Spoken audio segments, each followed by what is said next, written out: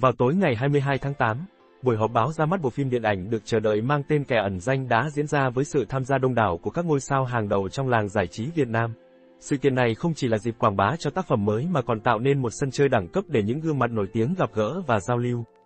Bộ phim Kẻ ẩn danh không chỉ là dự án mới mẻ với nội dung hấp dẫn mà còn gây chú ý khi ngôi sao Kiều Minh Tuấn thử thách bản thân với một vai diễn hành động nặng ký.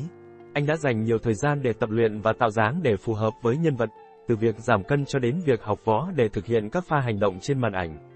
Đám ngôi sao tại sự kiện không chỉ có sự xuất hiện của các diễn viên chính như Kiều Minh Tuấn, Mạc Văn Khoa, Quốc Trường, Vân Trang, Mai Cát Vi mà còn có sự góp mặt của nhiều nghệ sĩ nổi tiếng khác như Đàm Vĩnh Hưng, Ngô Kiến Huy, Trường Giang, Lê Dương Bảo Lâm và Chris Phan.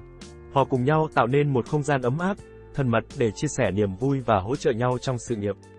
Kiều Minh Tuấn không chỉ là người đảm nhận vai chính mà còn là nhân vật chính thu hút sự chú ý tại sự kiện. Anh xuất hiện lịch lãm, tự tin với diện mạo thay đổi, thể hiện sự tận tụy và quyết tâm đối với dự án phim này. Đây cũng là lần đầu tiên anh thử sức với một vai diễn đậm chất hành động, chứng minh khả năng linh hoạt và sự đa dạng trong sự nghiệp. Phim Kẻ ẩn danh không chỉ gây chú ý với dàn diễn viên chất lượng mà còn với cốt truyện hấp dẫn, được xây dựng kỹ lưỡng. Với sự đầu tư tận tâm và chuyên nghiệp, bộ phim hứa hẹn mang lại nhiều cảm xúc thú vị cho khán giả. Sự kiện ra mắt này cũng là cơ hội để các ngôi sao nổi tiếng thể hiện tài năng, gắn kết với nhau và tạo ra những kỷ niệm đáng nhớ trong hành trình làm nên một tác phẩm điện ảnh đẳng cấp.